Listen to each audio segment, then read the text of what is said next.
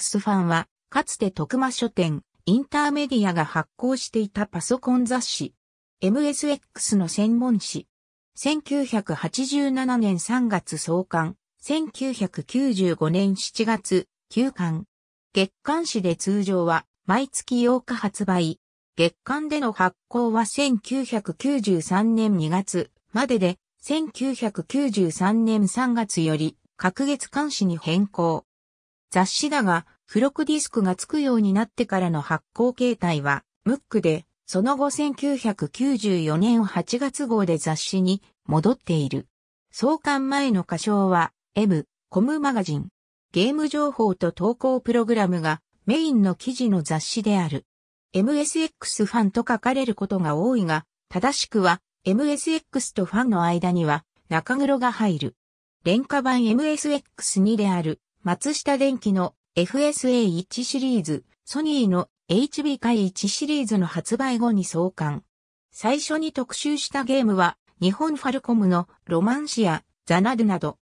MSX 誌としては後発でいろいろな試みが行われた。MSX ファン創刊直前に休刊したプログラム投稿誌、プログラムポシェット誌から MSX の投稿プログラムが独立してゲーム情報を足したような雑誌で、同誌と同様にコンピューター総合誌、テクノポリスの弟分の存在だった。先発の兄弟誌としては、ゲーム専門誌のファミリーコンピュータマガジンがあった。また、弟分としては、ゲーム専門誌の PC エンジンファンやメガドライブファンなどがあった。紙面は新作ゲームなどの攻略、MSX の新作ハードのみならず最新のハイテクやイベント情報を紹介する FFB、読者投稿プログラムを紹介するファンダム、広告と開発中の新作紹介、新作カレンダー、メーカー担当者へのインタビューから構成されており、別冊がつくこともあった。FFB では、ライター馬房の独特な毒舌が冴える、お話こんにちはや、暮らしの適当手帳、飲み山つつじのイラストと投稿イラストの、後に FFB からゲームの裏技や Q&A を載せるコーナー、ゲーム十字軍が独立し、ゲームを愛好する読者から多くの投稿が寄せられた。このコーナーでは毎回アダルトものの画面を載せたり、編集者の方針で突発的にその特集をすることがあった。後には中野カンフーのナンセンスな4コマ漫画の連載も行われた。また、本誌に掲載された情報を集めた同名のムックも発売された。ちなみに当初は創刊時に募集したイメージギャルに毎回コスプレをさせて十字軍などの扉を飾っていたが、2回目の募集は行われず、扉はモデラー制作のフィギュアに変更された。ファンダムには読者や編集部の作った MSX ベーシックのプログラムリストを掲載していた。当時廃れつつあったパソコンでプログラムを組んで遊ぶというスタイルでプログラムを打ち込み、目的のゲームを遊ぶという読者がいたことから人気が高いコーナーでもあった。プログラミングを覚えた後はファンダームに投稿するという流れもできていた。投稿プログラムが採用されると掲載者には、掲載誌のほか、規定の原稿料と掲載プログラムをロムカートリッジとして制作したものが副賞としてプレゼントされた。掲載プログラムのロムカートリッジスクリーン例、WIDS40 の設定で、プログラムリストが1画面に収まる長さの1画面プログラムなどのコーナーを特設し、短いプログラムを奨励。掲載したプログラムのページには、解説やプログラマーからのコメントを設けられていた。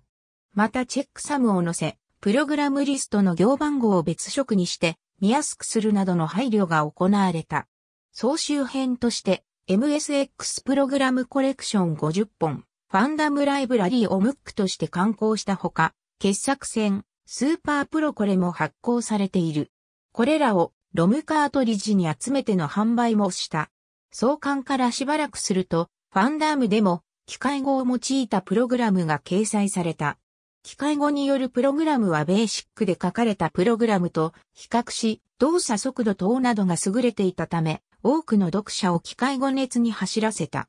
当初、ファンダームでは、機械語のみのプログラムは掲載しない方針だったので、投稿者はベーシックで入力できる形式で投稿する必要があった。この制限から機械語をエンコードした一見すると無意味に思えるような文字の羅列の形でソースコードに埋め込み、ベーシック上から実行させるものなど、技巧を凝らした投稿プログラムが中期以降にはよく見られるようになった。その後、本紙に付録ディスクがつくようになって、直接バイナリーファイルを収録できるようになったためベーシックで入力する形式という制限は取り払われ、かなりボリュームの大きなゲームも採用されるようになると、共に機械語の解説なども行われるようになった。投稿プログラムの多くはゲームプログラムだったが、本格的なグラフィックツールなどの実用的なプログラムやマウスで書道ができるプログラムなど、個性的な発想で作られた作品も少なからず採用されていた。また後期になると投稿プログラムに対してクロスレビューを行い、複数の編集者の意見を直接掲載することも行われている。1989年11月号に掲載の水道管並びに1990年3月号に掲載された水道管には後にコンパイルと徳間書店が市販したゴルビーのパイプライン大作戦の原案となった。さらにこのゲームの上から落ちてくる水道管をつなげるアイデアが、ぷよぷよのシステムの元ネタになったと言われている。また、ファミマガディスクの一部作品はこのファンダーム掲載プログラムをゲーム化したものとなっている。ファンダーム掲載プログラムは通算1008本、投稿者平均年齢は18.08歳だった。常連プログラマー、編集掲載プログラムの多い投稿者は常連プログラマーと呼ばれ、特に以下のような人物がいた。括弧内は掲載プログラム本数。なお、一部の投稿者は自分のウェブサイトを立ち上げており、当時のプログラムをダウンロードすることを可能にしている者もいる。ファンダムの問題点、編集特に一画面プログラムで顕著だった。マルチステートメントの多様や行数、文字数の短縮、スペースの排除、命令の省略、それらに加え機械語の使用は少ない文字数で作品表現の幅を広げた一方、プログラムのソースコードとしては著しく可読性を下げた。コメント行に直接キャラクターコードをバイナリとして置くなどの手法は前述の通り作業者には無意味な文字の羅列に見えるものである。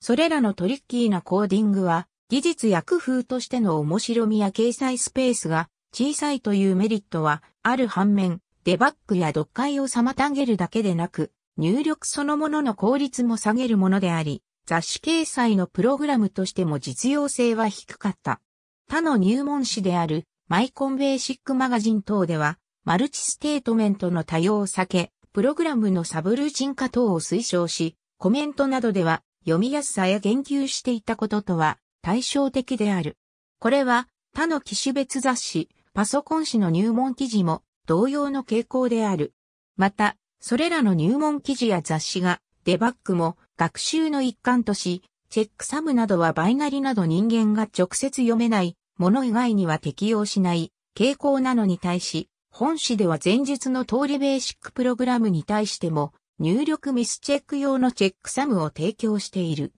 その他の記事としては MSX ミュージックが出た後にミュージシャン、横川俊彦による FM 音源講座が掲載され、終了後は投稿コーナー、FM 音楽館となった。また、エスプリの聞いたオリジナルショート投稿プログラムを紹介するサウンドフォーラムも始まり、ここでは同じ投稿者が採用されるたびに称号が増えていくという試みがされた。この AV フォーラムには後に声優となる野島博士、野島健二及び作家となる野島聡の兄弟3名が、海 IS のペンネームで常連として投稿していた。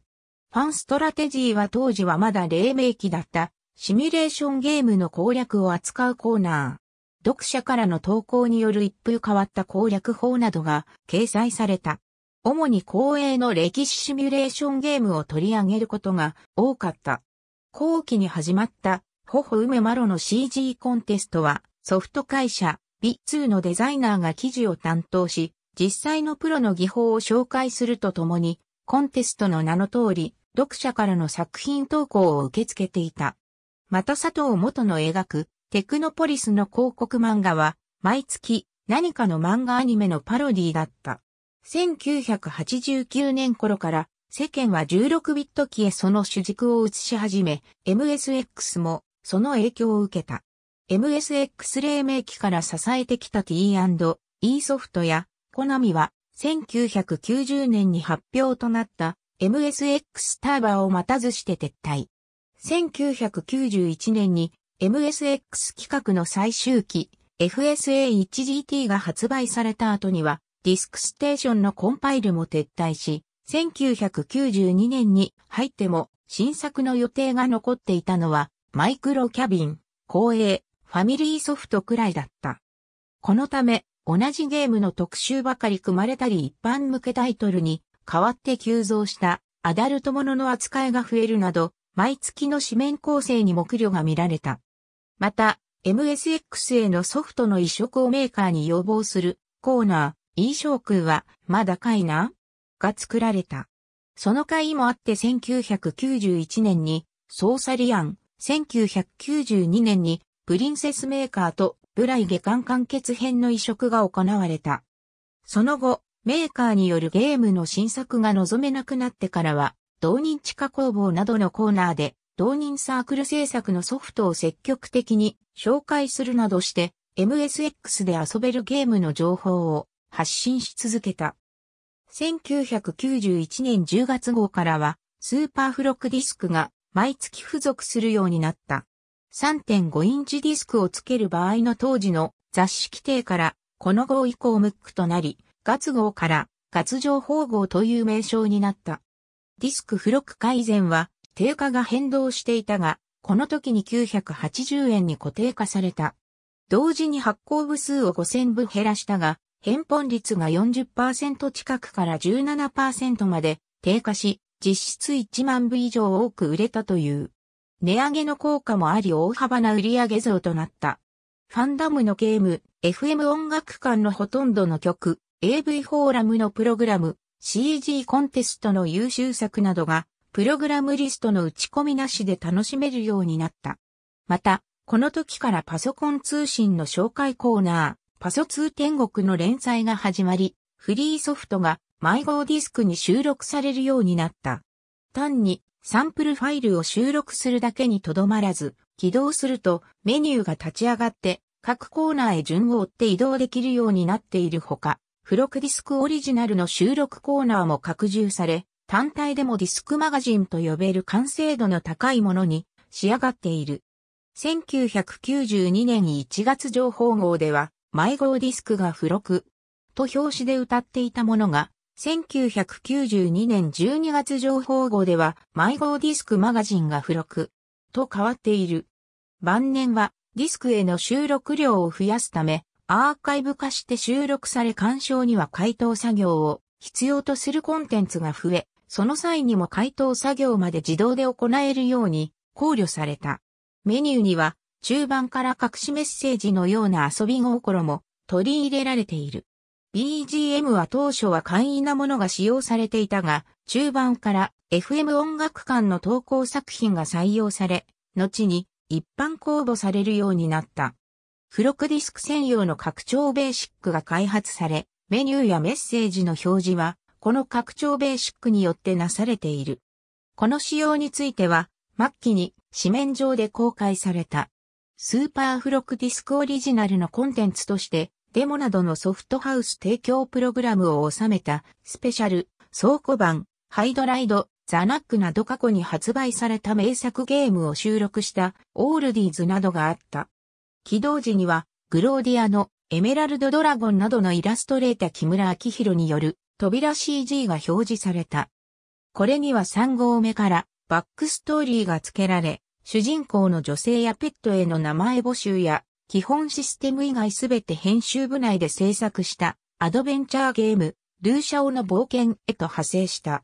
フロクディスクは読者の一定の支持を得て商業的な MSX の衰退をよそに安定した観光を続けた。一方、ファンダムへのプログラムリストの掲載が縮小されたほか、雑誌全体のページ数も徐々に削減されていった。1993年4から5月情報号より予告なく隔月間化された。MSX への市販ソフトの新作リリースがほとんどなくなり、広告のページ数も激減していたことが背景にある。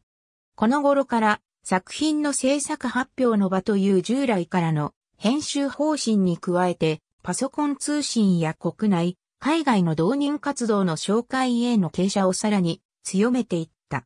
投稿コーナーの充実という従来からの施策に加えてディスク付録化に伴って大規模な自作ゲームの投稿を解禁したこともあり、作品の投稿がより活発となっていた。ディスク1枚では容量不足に悩まされるようになり、これを名目に1993年10から11月号から付録ディスクを2枚に増やした。同時に定価も1280円に値上げとなった。1994年4から5月情報号では、読者に対して事前予告なしに1280円から1980円に値上げして波紋を呼んだ。これは出版取次会社が雑誌の付録の取扱規定を変更したことで、付録ディスクを雑誌に閉じ込まなければならなくなったことと、発行部数が減少してコストが上昇したためである。こうして多機種への移行を潔しとしないコアな MSX ユーザーを主対象とする形で完全に新作ソフトが発売されなくなり、ライバル誌 MSX マガジンが1992年に休刊した後も発行は続けられた。読者を確保するため定期購読も開始した。だが、MSX ユーザーの減少には歯止めがかからず、定期購読者の人数も確保できなくなり、休刊が決定する。この頃、最後の MSX マシンである FSA1、GT も生産中止。裏表紙は松下製 MSX の広告が定番だったが、1994年6から7月情報後からは松下製ワープロの広告に切り替わった。この広告変更について、編集長の北根は翌1994年8月号の編集後期にて生産中止になったことの示唆と、それでも MSX の舞台だったワープロ事業部が MSX ではないけれど、こうして広告を引き続いて入れてくれているのは、松下電機さんは多くは語らない。我々は、だからその気持ちや心意気をよくよく噛み締めたいと思う。と異例のコメントを寄せている。1994年10月号にて出版会では異例とも言える休刊の事前予告を行った。この異例の休刊予告は後日のパソコン通信化のアイデアともども発行人の山森直の発案であることが紙面で語られている。この時1年という区切りが予告された。これは3号前の1994年4月号から募っていた定期購読の申し込み単位と同じであり、即時休刊した場合に返金処理が発生することとの兼ね合いもあったことが伺い知れる。この週末までのカウントダウンは、結果として読者である残存、MSX ユーザーに対して、休刊後に向けての覚悟や気持ちの整理を促すこととなり、欄外に設けられた読者からの一言コーナー、M ファンに言いたい放題。では、編集部への社員が多数寄せられた。雑誌媒体にこだわらず存続を模索するアイデアの一つとして、有料会員制のパソコン通信化する是非を問うアンケートを1995年2月号で言った。しかし、その結果は半数が参加したいがモデムがないと回答するなど、パソコンユーザーとしては低年齢かつエントリーユーザーの多い MSX ユーザーの傾向が浮き彫りとなり、事業化は不可能と判断された。なお、同じアンケートによる読者の年齢分布によると、そのピークは18歳となっている。そして、事前予告通り、1995年8月号をもって休刊となった。最終号の交渉部数は8000部である。最終号の各投稿作品コーナーでは、最終号での掲載に間に合わせるべく投稿が殺到し、投稿数も通常の3倍以上となった。また前号と合わせて、同人サークルの自己 PR スペースが設けられ、商業誌に頼らず、ユーザー自身の手でアマチュア活動を続けていくよう促された。一方で、何らかの形で作品発表の場を残していくための模索も、休館カウントダウンに並行して進められており、その結果は、姉妹誌の PC エンジンファン誌に場を移し、MSX や PC-9801 で PC エンジンのクロス開発が可能な簡易開発キットデベロボックスの発表という形で結実した。休館後、発行元であった徳間書店インターメディアは1997年6月に徳間書店に吸収合併され、社内カンパニーとして徳間書店インターメディアカンパニー名義で事業を継続したが、その後、業績低迷により2000年に解散となる。所有していた書権利は徳間書店に引き継がれた。編集部員の名前が内輪ネタなどの文章でしばしば表に出てくることがあった。この傾向は前期でも多少を見られたが、後期では特に盛んになった。ディスク付録化号は各編集部員のコメントを集めた編集後期 B が付録ディスクに収録されるようになり、ファンダムのクロスレビュー開始も相まって編集部員の顔の見える雑誌の色が醸成されていった。50音順。MSX プログラムコレクション50本、プログラム投稿コーナー、ファンダムを抜粋、再構成してムック化したもの。派生コーナーである ED ファンダムやサウンドフォーラム、AV フォーラムも一部収録。ファンダムライブラリー上記を市販ソフト化し、プログラムを入力することなく遊べるようにしたもの。タイはロムカートリッジ、以降は3.5インチに DD ディスク。ワタケルでの発売。スーパープロコレ1から5、MSX プログラムコレクションシリーズの後継で、フロッピーディスクを付録につけての刊行。スーパープロコレ1は、本誌のディスク付録化の直前の発行であり、試金石的な意味合いを持っていた。1、3は、プログラムコレクションマイナスの傑作選。2、4、5は、本誌の抜粋、再構成。ゲーム十字軍ボリューム1から3四半ゲームの裏技情報コーナー、ゲーム十字軍をまとめて、単行本化。FM 音楽館ほほ梅マロの CG 描き方入門。ありがとうございます。